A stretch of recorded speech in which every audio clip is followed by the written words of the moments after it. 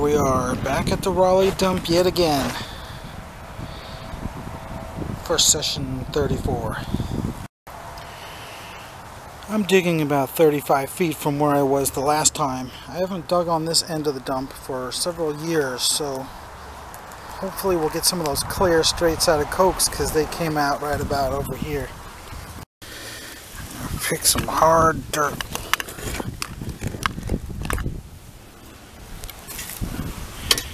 Yeah, this area is very hard packed.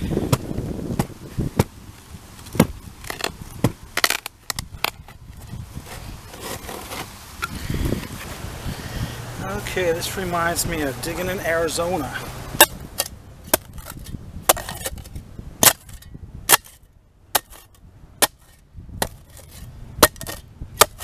About as hard as a rock.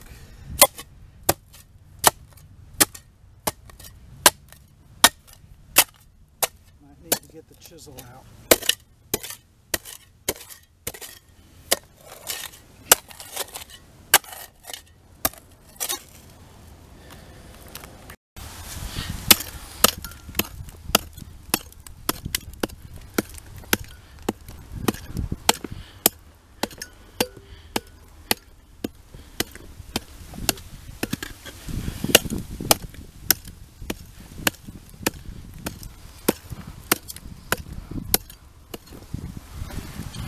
Alright, I'm down there. Found this bottle. I think it's from the late 30s though. So that means we still got about two more feet through this super hard dirt to get to the good stuff. Alright, two hours later, I'm finally down there. Still have a foot to go on either side because it's just so hard to dig it. I just don't know if I even want to bother with that. I just want to get down into the good stuff. Okay, 15 seconds later I just found this. It's a poison, the most common of all poisons. But still, I think I can get twelve and a half dollars for it. Alright, I see a flask showing up.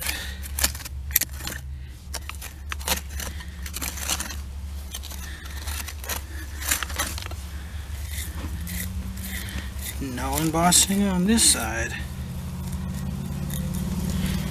It's broken and slick. Okay, I got something that looks like a wine bottle. Maybe could be one of those English bottle. Yeah, it's just another one of those. Super common in the early 1900s. There's an interesting shard. It's a Rooney's malt whiskey from, I believe, Richmond, Virginia. But this is the large pint size. I've only ever found half pints of these. And another thing that reminds me of Arizona. This dirt is just so it's different than the rest of the dump. It's so powder dry. I wish I had my screen so I could sift it. But anyway, I have this. Hmm, interesting perfume. No name, but interesting pattern. Alright, we got some kind of a whiskey. Too many slicks. It's a nice lady's leg though, so for a slicker it's not too bad. Out pops another perfumer. What does it say? It does say something, but the embossing is pretty weak.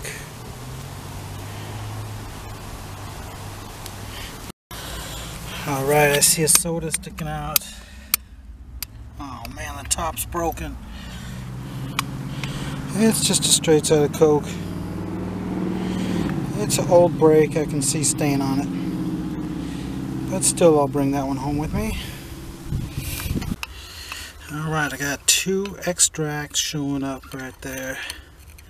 Hopefully one of them is really a patent medicine in the extract shape. Because they're not always extracts.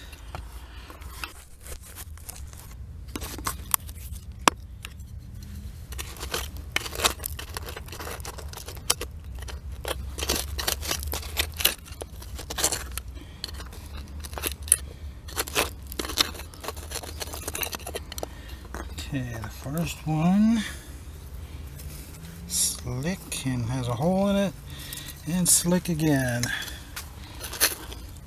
The second one slick all over and also broken.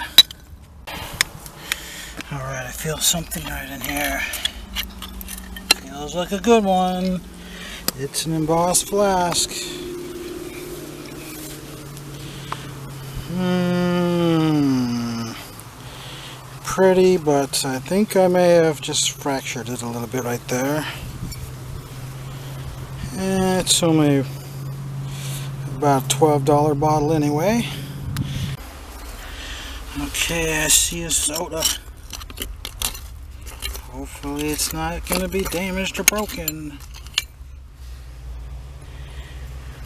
Oh man. Another broken off neck. Straight out of Coke. Can I make it into a drinking glass? Uh, another broken straight out of Coke. Well, it's very hard dirt still, but it's a lot thicker layer than the other part of the dump. Gotten down two feet through the bottle layer and we're still going.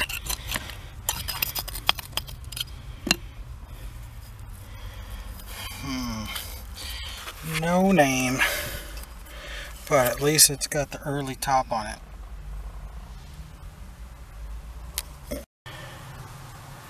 How about a sperm bottle? Sperm whale sewing machine oil. Broken off on top. But it's an interesting name, so I'll bring it back and put it on the $3 shelf. Alright, I'm down over six feet deep now. Just pop this one out. Hmm. Kind of like one of those blob top mineral waters, but this one's just a little different. Something feels a little different, like it's older maybe. But in any case, this is crazy. The layer is so deep here. We've got a whiskey fifth sitting right here. Goes at least two more feet below that. I'm saving that one till I tunnel it out. And there's another one right here, right at the very top of the layer. Almost positive that's one of those bitter quills. Dang, that's a deep hole. I could barely get out of it. Six and a half to seven feet deep. Still not on the bottom. There's an interesting shard. Alright, lunch is over. It's time to get back down in there. Yep, it's over my head, alright. But finally, I have a bottle. What is it? It's amber strap side. Slick, of course. But it's a nice looking one. Could be 1890s. Okay, we got something that looks like a beer with the neck broken off. But if it's a rare embossed one, it's still worth salvaging.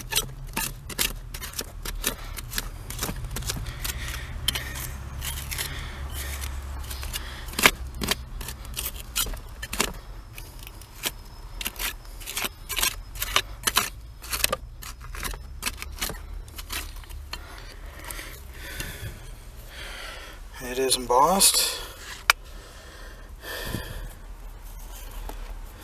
But it's cracked.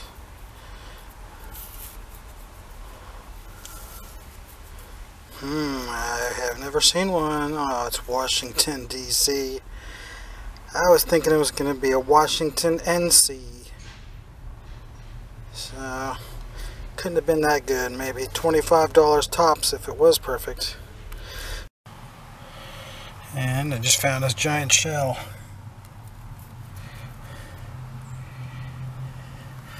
Wonder why that's in there. It just keeps going and going. It's crazy. Okay, I think I got a semi-round bottom soda.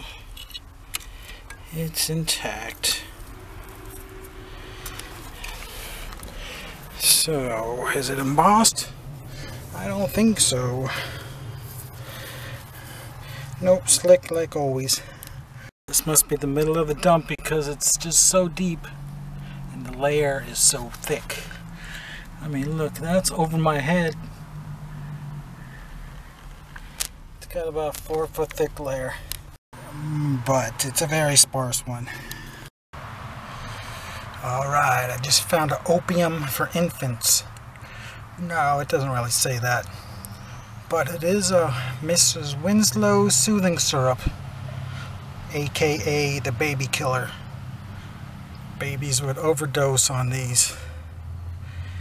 Was to keep babies from crying too much and put them to sleep for a while. But sometimes it put them to sleep forever. I could barely put it up on the edge because I'm so deep in there. I see a drugstore bottle down there. And I got a feeling it's embossed.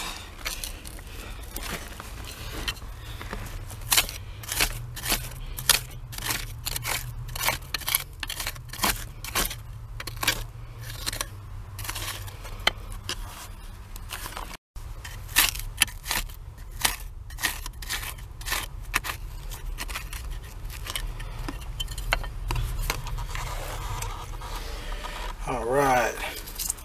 What is it? I don't think I've seen one of these. Oh my god. Something I've never heard of before. We're so deep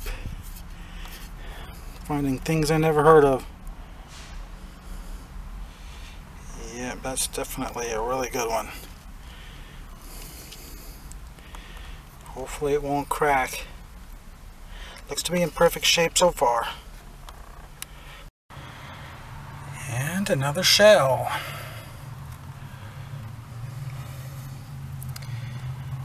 Wonder if I should bring it home. Yeah, why not? And another bottle pertaining to babies. It's the mother's friend from Atlanta, GA. It's a nice early one, right at 1900.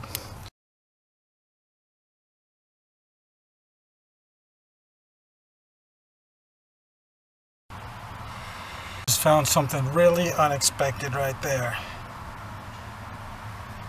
A Saratoga mineral water from the 1880s, maybe 1870s. I don't know, I just never find this kind of stuff. Very unexpected. So I'll just bring that shard home with me since it's such a rare thing to find these kind of things here in North Carolina.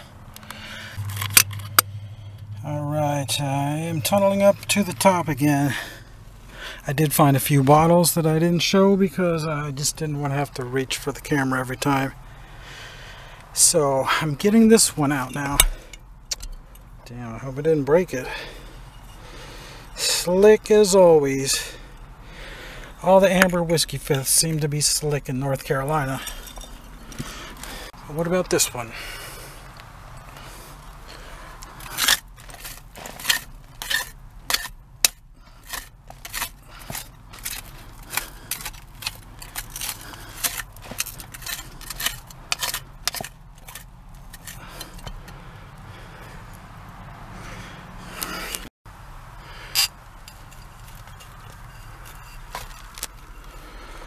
Hmm. Okay, I think I know what that is. Some kind of a mineral water.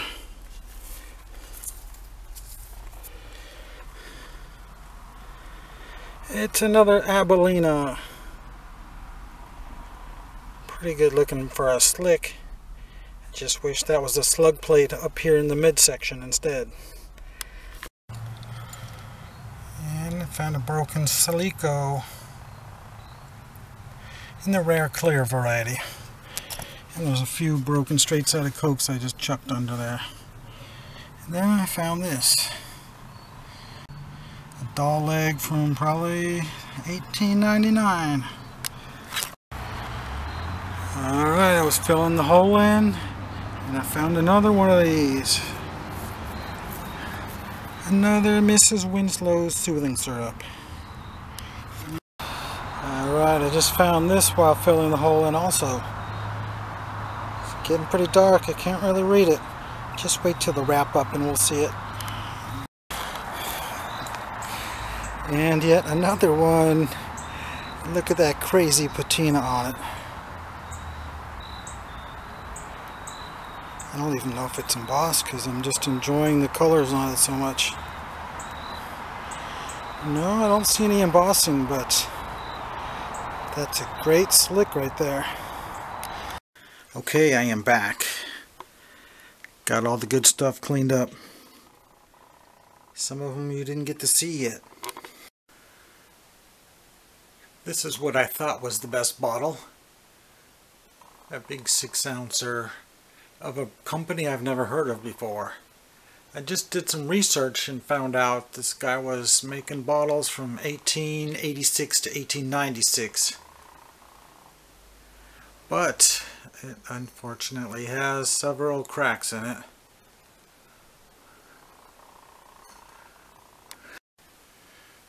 I'll show you a list of some of the drugstores from the early days. But this is definitely something I've never seen before. Very surprised to see 1880s and 90s stuff coming out. It has that one crack on the side and the one in the back. But of course, the front is what you're going to be looking at, so it still looks good on a shelf. And then I just looked this one up as well. I don't think I showed you this one when I found it because I was concentrating on digging because it was so difficult. Had to reach above my head to get the camera because I was down 7 feet when I was into this layer. But this is one I've never heard of before either. It's only listed as 1886. Yeah, that's extremely early. I rarely find anything from the 1880s around here. And it's in perfect condition too.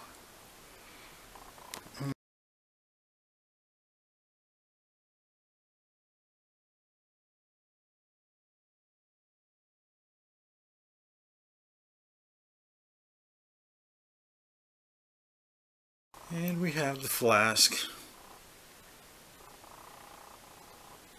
Might still be able to get $10 out of it. And a Frostilla. Usually a very common bottle.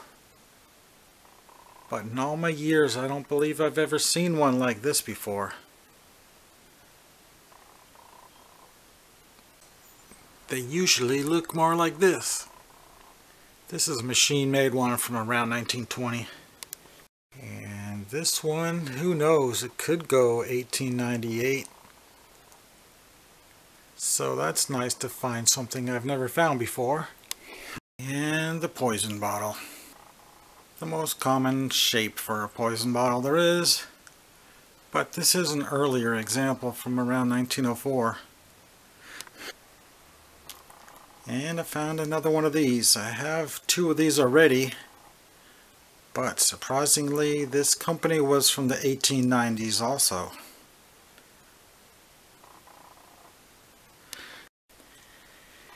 And some of the bottles have a really nice patina on them.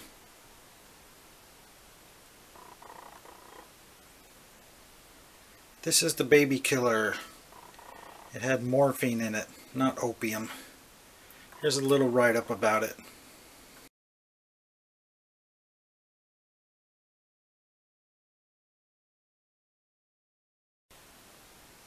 This one again.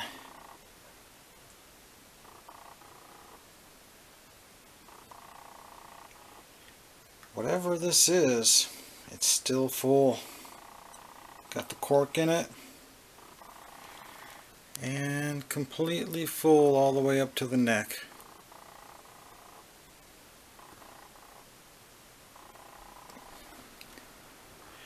But it's better to display these in a semi-dark area to show off the coloration on it. And this beer, dark brown bottles often have the ability to show off the stain in a positive way. The blob top. And this beer is quite old. It's not just blown in a mold, but it's an applied blown in a mold top, which is pre-1893. And this is early medicine. You can tell by the faint flat embossing on it. The embossing definitely has that 1880s look to it. Of course you can see it's still got the original contents. And for a slick, this flask is rather nice. Still has the cork in it. And whatever this contents is, a dark colored liquid. Has to be the original whiskey. And we have one little cobalt medicine, but I don't know if it cracked from temperature change. Sure thought it was in perfect condition. And the round bottom soda. Blob top variety. Well, there's a flat spot on the bottom.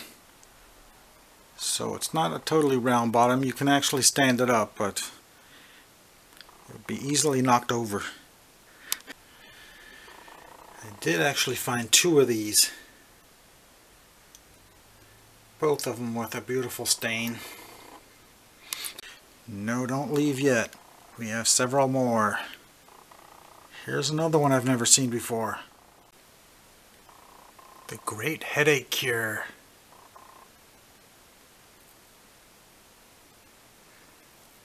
And it seems to be in mint condition. And another headache cure of a different odd brand that I have never seen before. A sure cure for all headaches. Yep, that's another new one on me. Does have a little bit of damage in the back. And this straight out of Coke. I always like to examine it up close to see if it's a fresh break or not. I can see a slight rainbow finish on that, which means it's been broken a hundred years or more.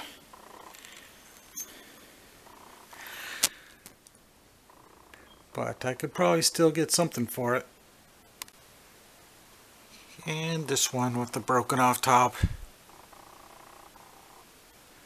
Definitely worth making into a drinking glass and two small perfumes in the 1890s style. And this one, the Abilena. And a nice looking whiskey. And another whiskey that seems to be a bit larger than most. Got a thicker neck. Everything's just a little bit bigger about it. And last but certainly not least, I cannot believe I found something like that. Maybe in Vermont or Connecticut, but not around here. Is that 1870s? I don't even know. It's got to be at least early 1880s. And another interesting emerald green shard. I don't recognize that at all. I'm sure it would have been a good one. And I didn't get around to washing this one. The mother's friend. Well, that's most of them anyway. I'm getting a little bit too old to be working that hard. I must have chiseled away for eight hours. It was like digging through a giant adobe wall. It was well after dark by the time I got out of there because I had to properly fill the hole in and it took at least an hour. And yet another bottle. I forgot two of these. Can't forget the little bromo. And a nice little shard to do something with eventually.